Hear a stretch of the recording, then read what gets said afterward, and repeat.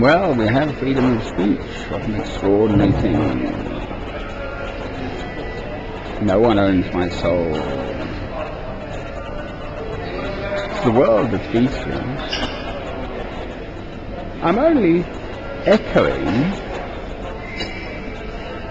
directly from you, my Lord, from the New Testament primarily. Matthew, Mark, Luke, and John are what I know best. The Old Testament prophets and, you know, John Revelation and so on. But it's all there for anyone to read it. I mean, the end times I've done on several occasions. and people just can't see it. It's extraordinary. I mean, I can just see it like a football. You know, I used to play squash for England, polo and whatever. You chuck a ball in the air and I'll wallop it. Whack into the net. Okay, that's what I'm good at. I'm a very gifted man, you know. I can do all sorts of stuff. But I'm not a sportsman. Sportsmen are boring because all they do is sport. I do other things. I mean, it's no big deal. Listen to old Francis, this is what I'm absolutely dying for, longing for. Why do you think I keep piling these films up? I make sense. I work very hard at making sense of this beastly world.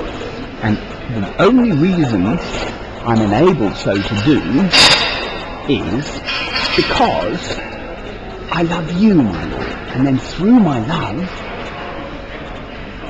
I have understanding. And now with the Holy Spirit, when I see things, you know, that perhaps other people don't see.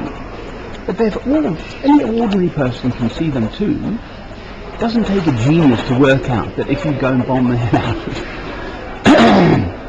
a lot of innocent people in Iraq, and lots of innocent people get killed, that your average local is not going to like having a, a cloud of Americans parked in the, in the place, strutting their stuff around. They're occupying power.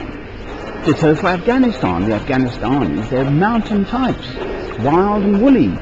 You know, we've been, the Brits have been up there, and the Khyber Pass and all the rest of it. This is where I feel I'm called to go, actually. Off to this Ho-Chan place in China on the old Silk Route. That is part of the reason why I feel called to go out there. So I've actually been there. It's a very famous crossing, the Silk Route. From China across through the mountains, past K2 somewhere and into India or northern Pakistan and the Khyber Pass and all that stuff.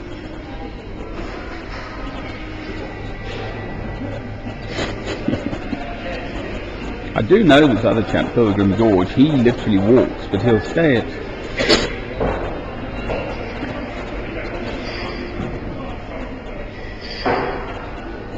What if I came in from the other way?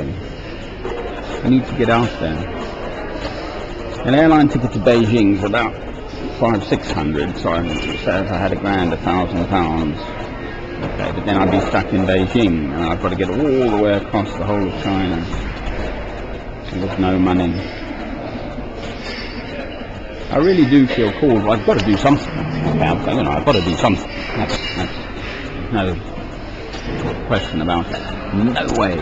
I'm 53 and I'm absolutely blocked in in this foul little place at the moment. Everywhere I go now, I'm watching my back, and you know, I've been around here at motorway service stations too long, and all the rest of it. It's leading nowhere. I make a plan. Left knee first. Gives me weeks, if not months even, to schedule this.